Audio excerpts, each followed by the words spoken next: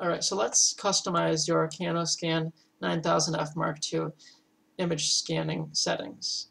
So uh, first of all, you're going to want to open your Canon IJ scan utility uh, as you installed from the website or from your installation CD. Um, we're going to hit settings and let's see.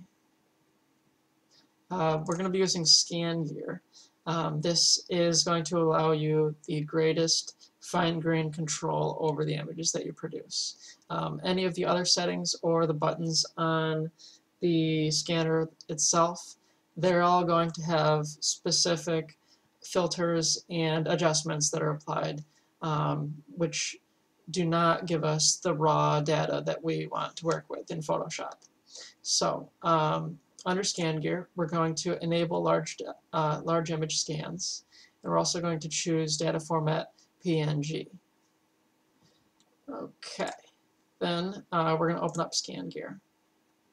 And you want to be using the advanced mode, not the basic mode. And you're going to be producing a full color scan, 48-bit. Um, alright, um, that has more uh, color information than a regular color scan does. So we're going to choose that option. We're also going to choose 600 dpi output resolution. And we're going to disable all of the image settings. Um, these are adjustments that we don't want to apply at the scanner level. We want to apply these um, types of adjustments and corrections at the Photoshop level where we can make uh, smarter decisions about um, if they're needed.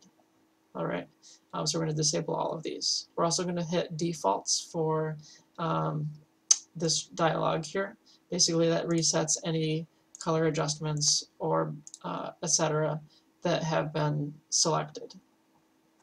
We're also going to hit uh, preferences and under the preferences quiet settings you're going to want to do not enable quiet mode um, the reason being that quiet mode is a limitation you're placing on the hardware which uh, could affect the results of the image that is produced. Um, also, under scan, be sure to enable the 48-bit output. Under color settings, choose none and hit defaults for monitor gamma. Okay, so we can preview um, our platen now. Alright, now these particular images are going to have some banding because uh, these two sets had a special foiling process. But we're going to scan them anyways.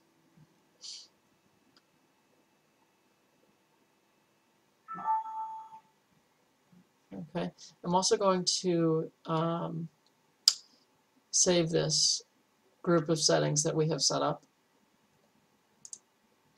And we're going to add, I'm going to call it um, raw scan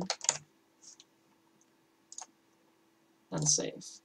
So now every time that we come into the advanced mode here, if we choose raw scan from the favorite settings drop down, um, that will set up all of our 48-bit 600 dpi disabled image corrections um, and everything else um, that we set up.